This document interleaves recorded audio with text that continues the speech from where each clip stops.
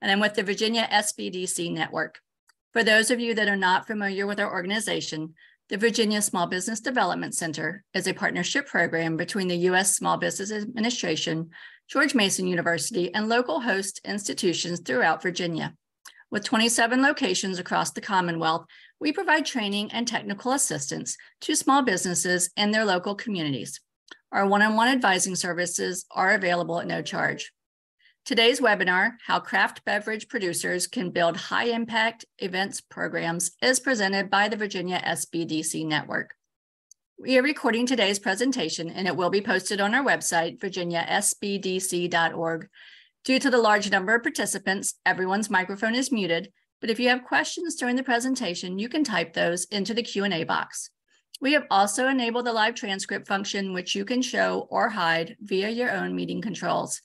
And now it is my pleasure to introduce the Virginia SBDC Craft Beverage Assistance Program Manager, Chris Van Orden. Thanks very much, Sheila. Uh, good morning, everyone, and thanks for joining us for this conversation about the ways in which producers can build successful events programs. Uh, my name is Chris Van Orden, and I'm the manager of the Craft Beverage Assistance Program at the Virginia SBDC at George Mason University.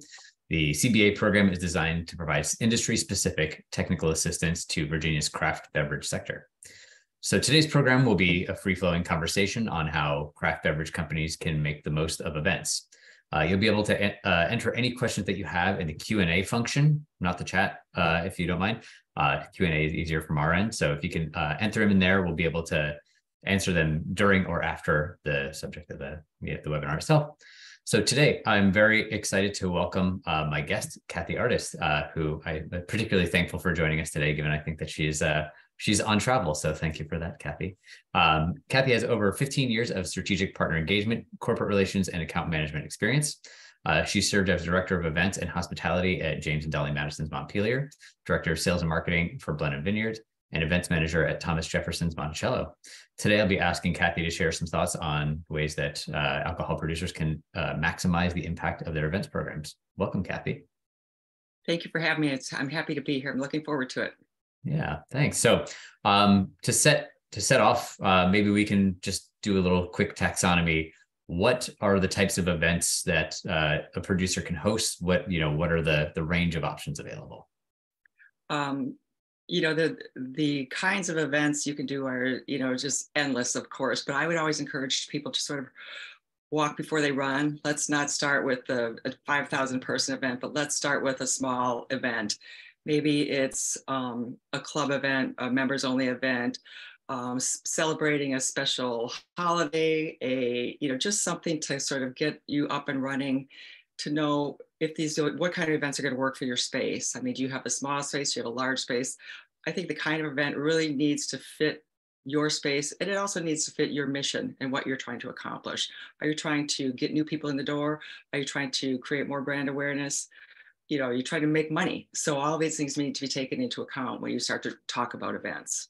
Yes, I already like your your point about tying your events to your motivations, right? There's no single thing that events accomplish. It's got to be fit. So we will get to that. I, I really like that. I, I don't want to get ahead of myself and latch on to that because maybe to set things off, you said, right, um, starting off with something that you can get your arms around before maybe hosting a festival. So before we dive into the different categories of events, maybe we can lay some groundwork and talk about some kind of core events infrastructure that a producer should put in place for if they're going to do any kinds of level of events. Okay that's a good place to start too you know getting getting the groundwork laid. One thing i think is really important and i'm not sure if people think about this when they're thinking about infrastructure is really getting buy-in from people and that means from the top of the organization all the way down to the bottom of the organization. Especially if it's a big event with a lot of people, you need buy in from your staff because you're going to have them working with you, for you. So it's really good to have those people on board from the beginning instead of being told what to do. But, you know, just let's try and get them on board as soon as possible. And then again, physical are there physical needs that you need to change? Do you need to increase your parking? Do you need better signage? Very basic things so people can find you easily. Um, an exit plan in case of a storm or something bad. There's got to be an exit plan, an exit strategy, a clear way out for everybody because those things do happen. You, you never know. Um, some infrastructure as far as are you going to have dedicated space? If you're talking about um, weddings that you want to do? Are you going to have a, a dedicated wedding space like some people do? They have a pad, people can put up the tent. Because if you're holding it in your tasting room, you're affecting the business, you're affecting the customers. So, you know, I think you need to figure out clearly what kind of events you want to do and then base the infrastructure around that. Um, because you don't want to have to recreate the wheel every time you have another event and say, oh God, we never thought of this. So getting those things down is a good place to start. Yeah, yeah. And I, I think it's um a, a, a good way to frame it. I think that so many people do ignore the sort of buy-in aspect. You know, people are very focused on the staff and right the functional roles they play. Hey, I have my staff. I need to have my marketing and promotions person, you know, pushing out content on this side. Okay, that's the functional aspect of it. I may need to have my tasting room manager uh, go and file for a permit or something like that, or add to the you know uh, certificate of insurance. But that's just you know the execution side from the top to the bottom, especially if it's not like the kind of uh, executive, like the the leader of the organization designing an event. There needs to be buy-in on all of these things. Because if you're pushing against what people want to be doing that's where you know things get dropped. People aren't really excited about it. It doesn't make for a good user experience. And so some of this is the sort of soft skill side of hey we like we all need to agree that there's a good reason to do this that we're all on board for it um, because you can tell when people are being dragged along through an event. And you don't want that. And like for example when i worked at montpelier we did very large events. And you know the montpelier races and stuff. So you're talking about every single person who works there has to be they're all they were at the time when i did certain events they were required to be there for certain days. So it's not just the marketing people, but the development people want something. They want to have a special experience for donors. Then you've got the people in the gift shop who are going to get hammered. Then you've got the grounds people who have to open and close gates. And, you know, it, it really affects everybody. So I think constant, constant communication from the very beginning is, is, is key. Constantly pushing out that communication, especially for large events. You just don't want people feeling like, again, they're being told what to do instead of being asked, hey, how, yeah. how will this work? Yeah. Yeah. And I think the, um, the, like this is even more important if you're have including volunteers, right? You know, there are some instances where you're bringing on volunteers and what does that mean? How are you motivating them? Um, you know, there's, I'm sure we could talk all about just staffing models alone, um, but that's going to be tailored to the company, the event, um, you know, the goals and all of that. So we can uh, you really want your you want your A team. You want your A team greeting people. You don't want you don't want the crabby guy at the front gate. You want you want to bring your A team, and that's nothing, especially regarding volunteers. Really educate them. What is this event about? They might have questions about just the simplest things. So educate your volunteers. I think that's very important. It just makes everybody look better. Where are the restrooms? Where's this? The, the more they know, the better off they can answer, and and really, you know, set the right tone for guests coming in. Yeah, yeah, absolutely.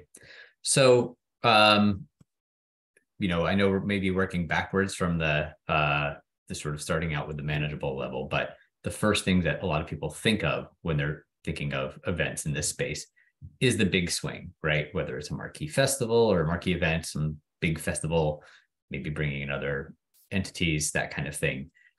Can you walk us through, you know, how you lay out you know your game plan if you're organizing a big festival? Like when does the planning start?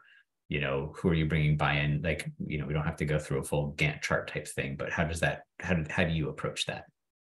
I think the, the biggest thing is what's your most important piece of that day? Is it a band? Is it a performer? Is it you know what's the biggest hardest most important get?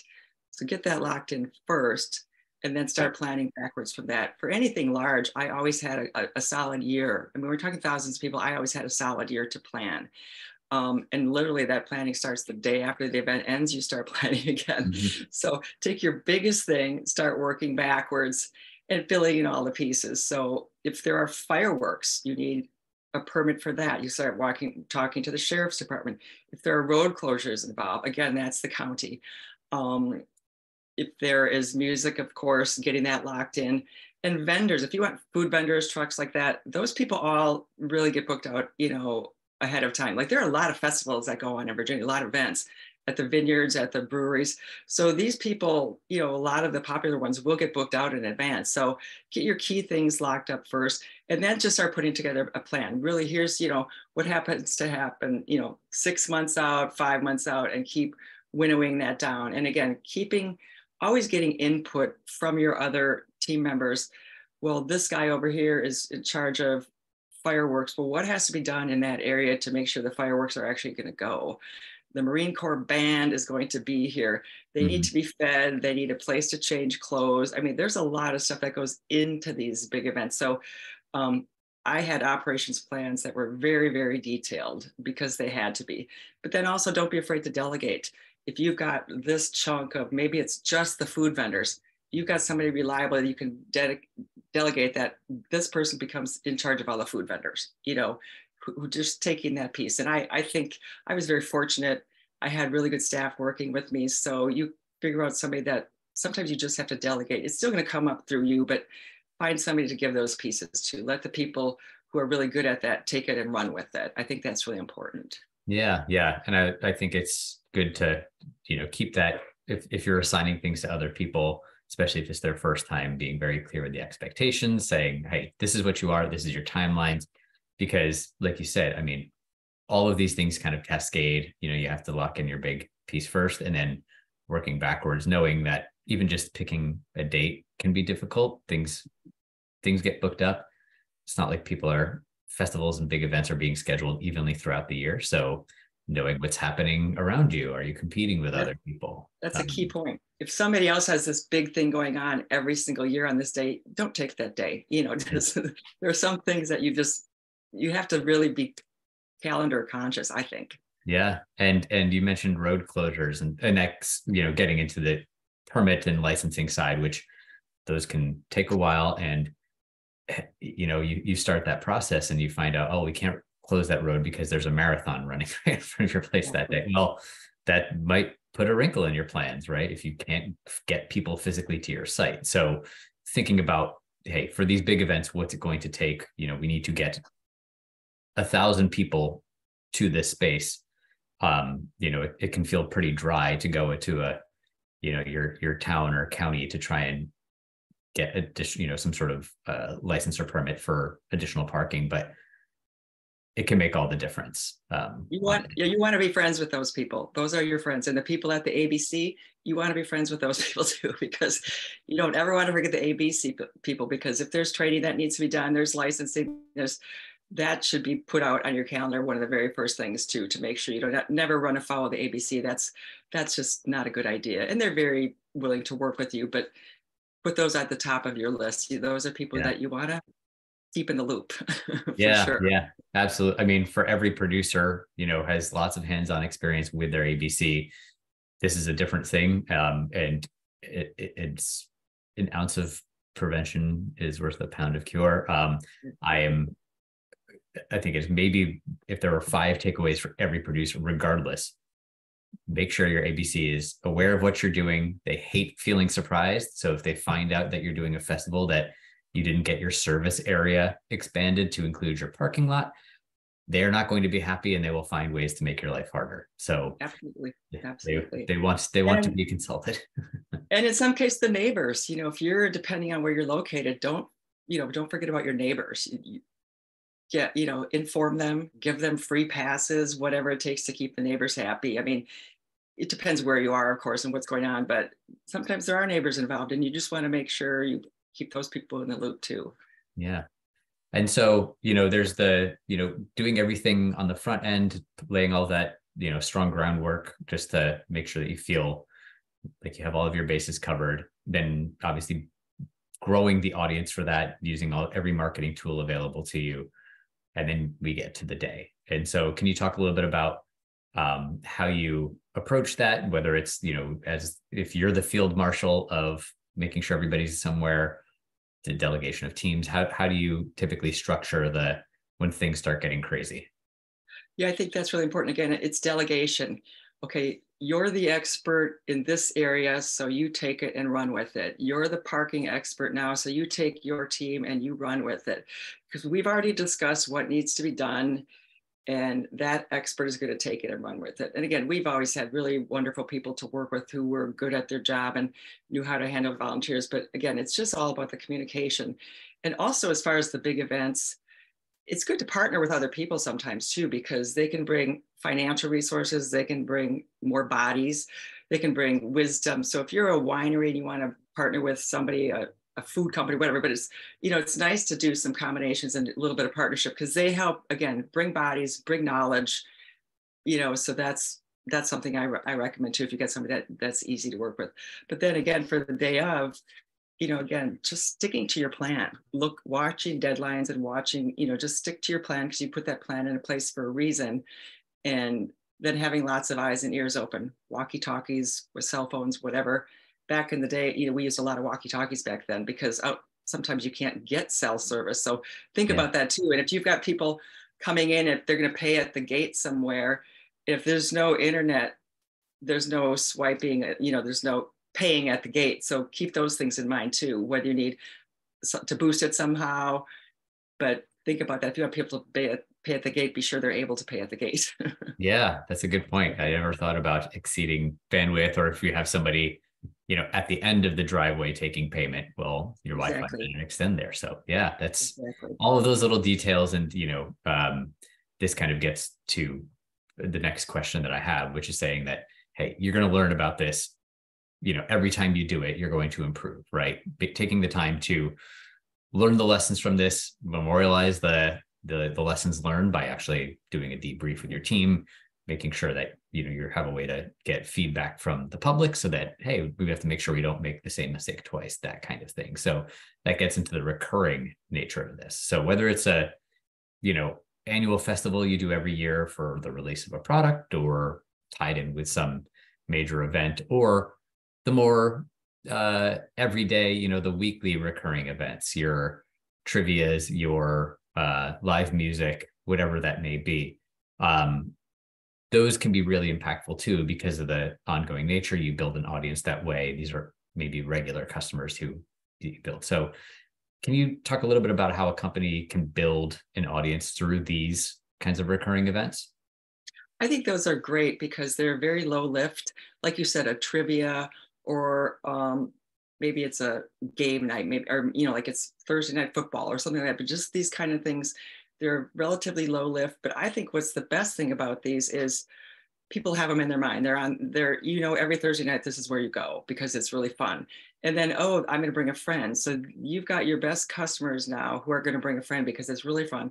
Or they meet a friend there. I think that's the best part is just the interaction because you're bound to see the same people over and over. If it's that kind of smallish, you know, some of these things you will see the same people every month or every whatever it is. And so mm-hmm. that's that's the best case scenario because then you're again somebody's going to bring a friend along and tell somebody else and you know that's you've got all these little mini ambassadors out there now. I think people who come frequently they are your ambassadors they want it. they're coming back for a reason they feel good when they're there they have fun they're the ones that are going to bring you more and i think and ultimately that's what you're trying to do with the events right is get create the long lasting, the, the lifetime value of your customer. You're trying to make it as high as possible. If you could keep him coming back and keep that person bringing more, that's going to increase their value over the lifetime. And that's really what you want. We all know it's easier, it's much less expensive to keep a customer than to bring on a new one. So if you keep those customers, your best people happy, they're going to bring on the people for you. I think that's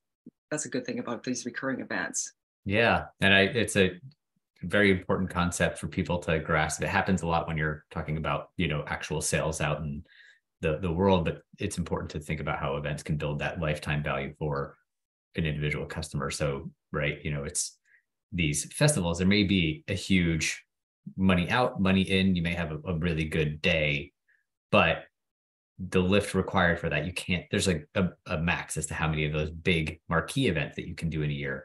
These other ones, right? I mean, they're they move along they require like far fewer resources to stand up and each individual person who comes is probably going to be a more regular customer you probably get more lifetime value out of the person who plays trivia every week than the person who comes to your festival once a year. Exactly. Exactly. So, um, and again, there, there's so much less staff resources involved in these small events. The big ones suck up so much staff resources. You you you really gotta be willing to put some into it. So these recurring ones, and they're flexible. You can mix it up, and they're easy to and they're easy to add. You know, they're easy mm-hmm. to just they're just easier. You know, and, and people are generally lighthearted. You know, it's not like most cases they're not even there's not even a charge for it. If it's trivia night, you know, so there's not mm-hmm. even a charge for a lot of these things. But yeah, it's a good way to get people out and create yeah. some goodwill. Definitely. It doesn't stretch your staff. Yeah, it is. Uh, and it's this may work up to the festivals, right? So it may be you have the recurring weekly events. Then maybe every month there's a slightly larger event. Then those can get spun up into quarterly events. So yeah. this can be a, a growing thing over time as you your team sharpens up. You get more comfortable with more moving pieces. You know, even just the cash flow question of hey, if you have to rent tents and you know secure permits and all of those things, well maybe that's hard to do when you're very small but over time you can grow up and actually you know build this and, and have a, a pretty major day so and these these events are good tests you know to test small ones and then also look at your your guests for ideas they have a lot of good ideas and you know the average owner is going to be there talking to people you get a lot of good ideas talking to the guests you know because what they like about this what they don't like about it or hey, last week I was just at this place. So, you know, it's a good way to mm. get some ideas from, see what people like. Yeah. And connecting it to what people like about your brand, right? Um, mm-hmm. you know, even if uh, there's probably a standard range of events that you see out in the public, right? But knowing what sets you apart, um, what people like about your experience, build your, you know, your your event series off of that thinking about the assets that you have at your disposal, right? If you are um, located in a central area that's, you know, has a lot of heavy foot traffic, you might have more of an angle with restaurants and co-partnering and that kind of thing. If you're in a more rural area, then use that asset, right? So thinking about um, thinking critically and not just saying, "Hey, that went well for my friend who has who also operates in this business." Well, that went well for them because you know it suits them. Now, I've, I'm sure everyone that's listening today has been to many breweries and wineries and the likes, and I know I've been to breweries that, that all they play is heavy metal. Well, it'd be weird for them to have a folk concert. It wouldn't exactly. their audiences don't jive. So making exactly. sure that it suits who you are. I, I think that's important too. You, that, you hit that one very well because if that's what you're known for, like you said, you don't want to show up one day and all of a sudden they're doing something completely different. It's like that's not why I come here. mm-hmm. It it's uh you know it's these days uh every part of the alcohol industry is getting more specialized, and that's can be a good thing. Um, it doesn't make sense to try and be everything to everyone. So building your events and there's different focuses. Like I'm just recently saw, and it's about all about animals. It's the Humane Society, so mm-hmm. it's ales for tails. You know, there's you've got a lot of different focuses you could have, whether it's and sports events or trivia. I don't know that I've seen any, but I like the idea of book events. Maybe that's just me, but what a great place to go and you know maybe talk. Certain people have. Actually, I think I saw one in Richmond. Yeah. A brewery had like a reading club, which I thought would be really fun. You know, um, so there's a lot of different things you can do. Yeah, yeah, absolutely. Um, so that's you know ways to bring people in, make them feel connections to your company. Now, like there are people, there are groups that you know are already bought in for your company, but for your business, and those are you know your members. And if you have a membership club, those are people that you know are already on board. So back in uh, April, uh, I had a webinar guest who talked talked about membership clubs and you know building events into those offerings. So right it's not just enough to say hey join our club. We'll send you you know a case of wine quarterly or you're going to get first access to the beers. They want that personal connection. They're choosing you and your company as the someone they want to align themselves with. So how can members only events um, both you know support those members and also entice people to join those clubs i had a really interesting experience i spent the last two years up in northern wisconsin in a very small resort town. And this woman up there opened a wine bar. If this is beer drinking country, and she opened a wine bar. And I thought, great, because we need something like that, especially for women. You know, it's just a little bit of beautiful little wine bar, great selection. And then she started a club. She's only limited to 100 people. The first 100 people who signed up were in this club.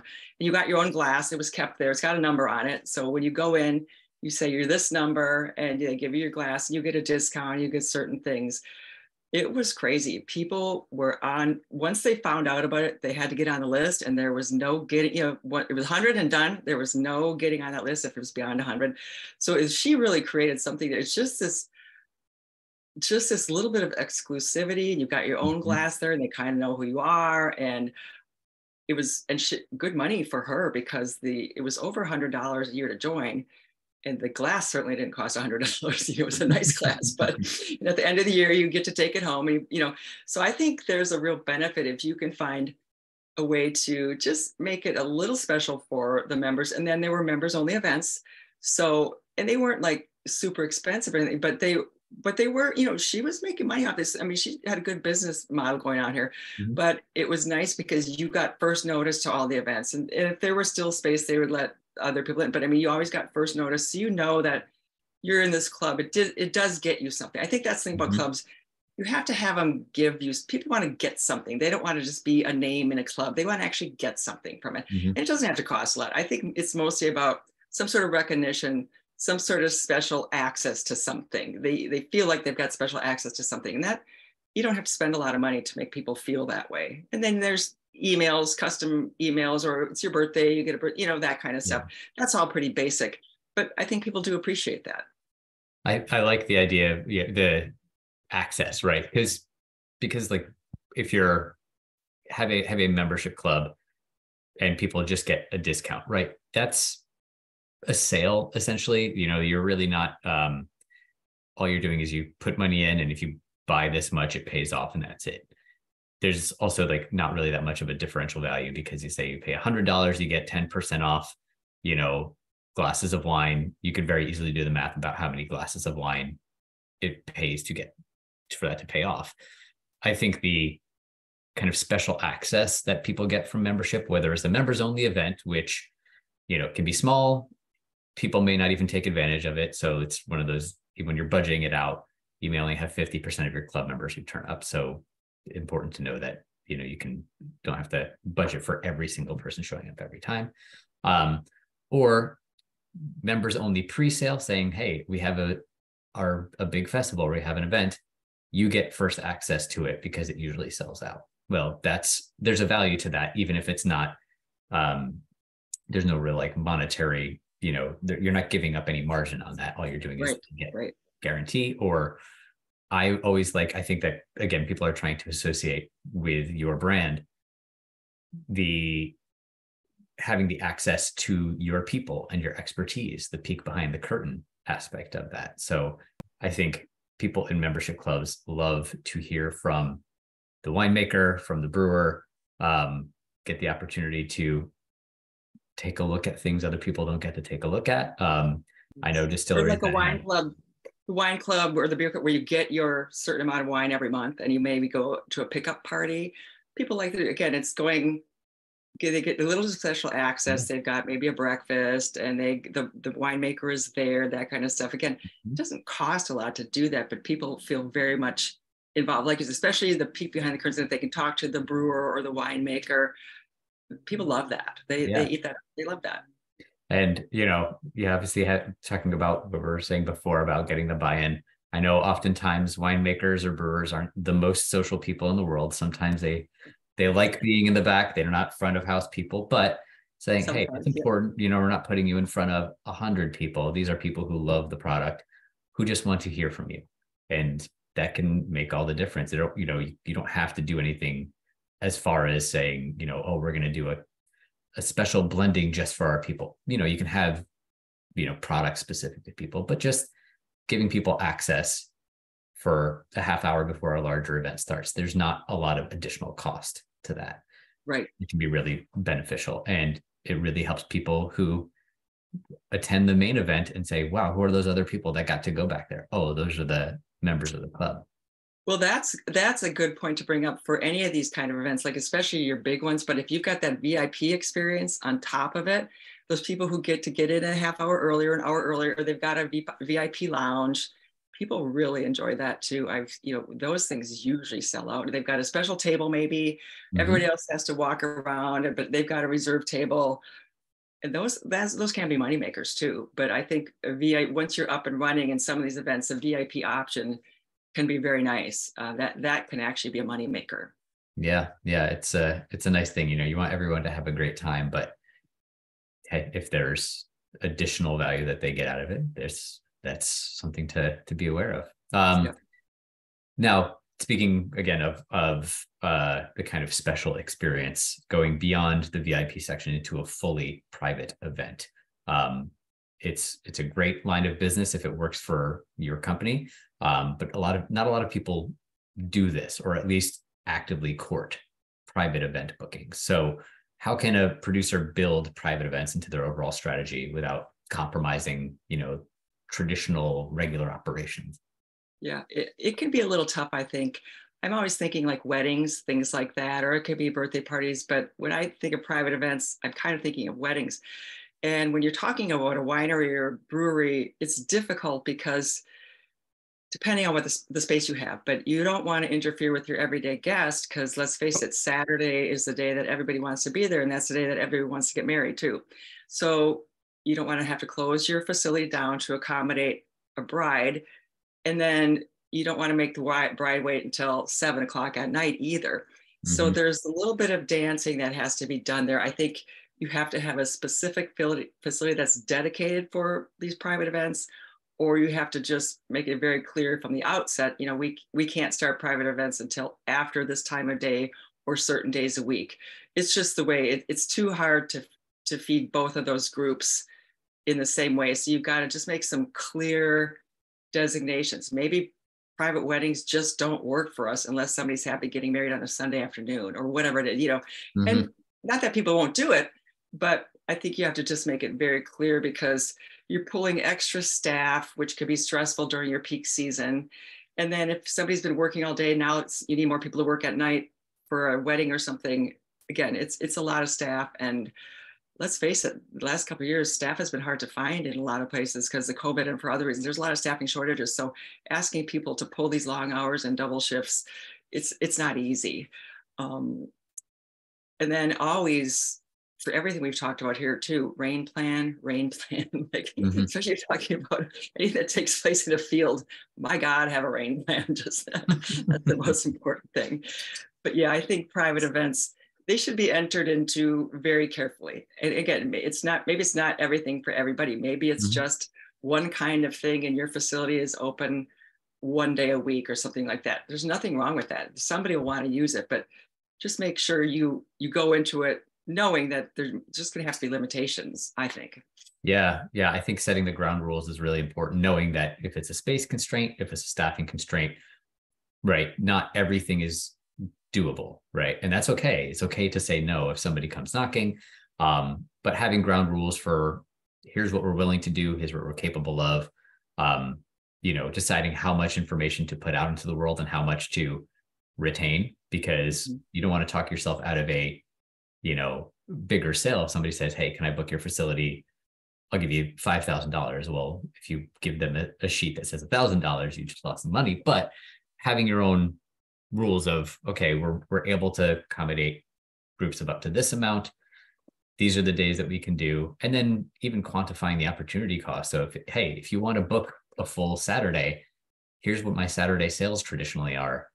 That's how much you have to pay to start right? And that's then people all of a sudden, that.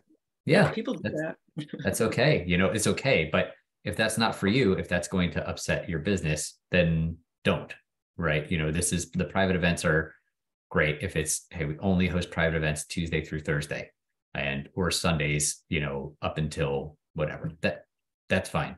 But just being passive about it may mean that you're missing out on opportunities. I I always like the corporate bookings. I think those are really nice because, you know, there will be a group that shows up, they'll be there for two to three hours. They have no problem with a budget.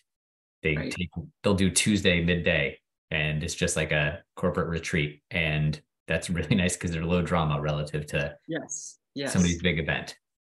it's good. It's good money. It's reliable. It's yes. Those those are good ones. Um, yeah, the weddings. There's I have mixed feelings, but but anyway, again, there's all kinds, and there's something for everybody. Yeah, yeah. The weddings, the weddings definitely one to be careful of because, again, it's you know uh, for many people the biggest day in their lives, and if you don't have the staff or the space or the expertise to deliver on that, um, you don't want to disappoint somebody. That's Yeah. you do not want to disappoint somebody. yeah, especially if somebody who you don't know. Yes. yeah. Yeah. Well, so those are right general categories of you know events. There's all kinds of forms that they can take, right? All different structures, whatever it is, making sure that the things that you're committing yourself to are things that you can deliver on, that you have everything in place to be successful. Then, of course, right, you know, trying to actually make sure that they are well attended, um, that they're going to be uh, successful in in terms of just getting the people out and being worth the investment. So can you talk about you know some of the tools or resources to that you know companies can leverage to get the most out of their event, whether it's on the marketing side, um, you know, actual traditional marketing or or spend, or maybe some of the sort of ways to to bring in partnerships. I think, you know, obviously social media is a big one these days. Word of mouth, again, if you're your your best customers, they are your best advertisers, I think. They're you're always if they're always getting your newsletter and they're saying, "Oh, I got to go to this. This will be really fun," and they send it to three other people. You know, I think that's really a great way to do it. That because that's that's not not noise. You that's that's a real something sending me something valuable as opposed to all the stuff that pops up when I'm on the internet. That's just noise. This is something valuable that something sending me. So I think, um, and then utilizing partners, utilizing, yeah, if you've got a partner, utilize their mailing list, utilize their social media. Um, you can get on the radio to talk about it. That's always good, and people are willing to do that usually, or the community television spots, um, what's going Mhm. on today. But I think in this day and age, it, it's really so much about social media and um,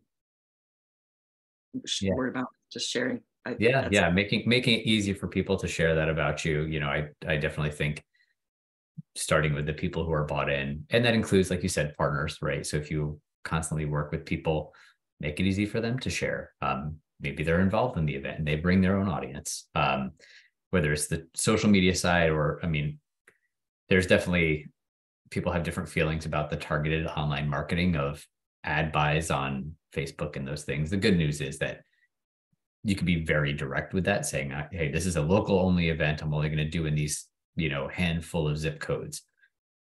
Great you know that's fine if they have a facebook profile and they say they have the word beer and they live in your zip code. They'll probably be interested in your event. That's fine. Um, and, and don't forget about organizations like yours, you know, who have, or anybody with another website like Virginia Wine Marketing Association or their Mhm. brewery groups. They always want to advertise events too. So if you're Yeah. a brewery, there are figure out all the industry groups that would be happy to advertise your event, or the local chamber of commerce, the local Mhm. convention and visitors bureau, um, those kind of things. They're always looking for stuff for their newsletters and for their event sites. So don't be afraid to reach out to some of those it's usually free, but they can Yeah. be very helpful because they've got a very wide reach. That's a great point. Regional tourism folks, Virginia Tourism Corporation, there's a lot of people whose job it is to promote Yes. things that are happening. So make it easy for them. And the same goes for media. I used to be a, a beer writer, and it is so nice to just have somebody say, I've got this thing, rather than me having to go and find it. It becomes so much easier to promote an event if I just have it all in one place. Hey, two paragraphs. Here's the link for the tickets. Here's what they cost. Great. And then one other thing that that I think that sometimes people overlook because you know it's they think of it as kind of siloed. Your tasting room staff, right? You know the people who are interacting with the customers, they need to know what's happening. Even if they're not working that event, they need to know the details. It needs to be easy for them to convey that, whether it's a flyer or, you know, there should be an events thing on the wall, but they need to know the basic details. So if somebody's coming in, this event is live. They need to be selling it to people. Like, hey, do you like that that glass of wine? Well, we're actually doing a rosé festival in a week. Oh, great, right? That's those people are already there. Um, and if they're That's not a very talking good about point. it. Yeah, that's a very good point because those are hopefully your 18 people and they should know because again, if they're getting asked these questions, they don't know that that's a lost opportunity. Yeah. And back to the old fashioned poster on the wall, I'm all about that too because Yeah. heck, if you see it, you could take a snap a picture with your phone and you've got it. You know, I, I do Mhm. that all the time. So I think that's really key. What you said is those tasting room people, those, you know, they should be they should really be knowledgeable about all of that stuff. That it's a lost opportunity if they're not. Yeah, Yeah. I agree. Yeah, they are your frontline people. They need to know. Um, so uh with all of that, right? Clearly we could be diving into all these different areas. Uh there's there's lots to to work on here, but I think just as important as the sort of positive um things we talked about, it's helpful to know common failure points. So without naming uh, any names, right? We don't want to air any dirty laundry for anybody. Um, what are some of the biggest or most common mistakes that you've encountered when organizing or supporting an event? Um, one, and it's nothing that was anywhere. It was just unfortunate. The planners they just really didn't have it have a rain plan in it in, in effect, and it's like all day long it looked like it was going to rain, and there was no good rain plan. That's kind of what I would consider almost a rookie mistake at this point. But, but I mean, I think the biggest thing really is the communication. You could Mhm. solve a lot of problems by just having knowledgeable people and people who can think on their feet. So if they are given all the information well they can logically say well okay if this is going to happen then you know so keeping people really well informed Mhm. and that's that's the biggest way to avoid mistakes. And because also if something does happen they can talk to people calm them down get them off the you know keep people from going away with a bad taste in their mouth. I think that's very important. So really communicating people to your staff and I, I think that's one of the most important things. And then basically like i said like a rain plan like a good exit strategy. Mhm.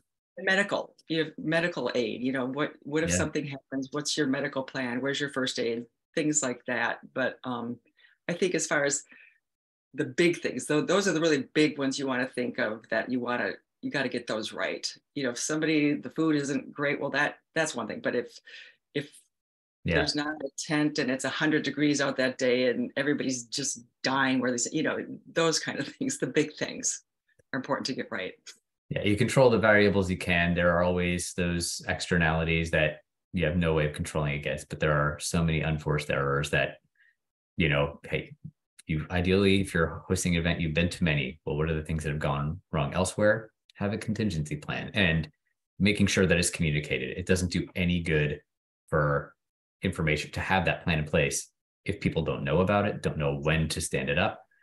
Right. I- mean, you said the walkie talkie thing, if it's a Slack channel, whatever the format is, saying we've had to make this change because there's nothing worse when somebody shows up to event, one person tells them one thing, one person tells them another thing. And all of a sudden, hey, somebody told me I could park here and now I got a ticket. Or somebody told me it would be only $10 for uh or it would be free for a designated driver. And now it's $10. Why is this happen? Right. That's how people get the bad taste in their mouth. So the I I have a a friend who always says for her business, clear is kind and unclear is unkind, right? It's you need to tell have all of your people know what the rules of the road are and make sure they're communicating that because if there's ambiguity, that's where mistakes happen.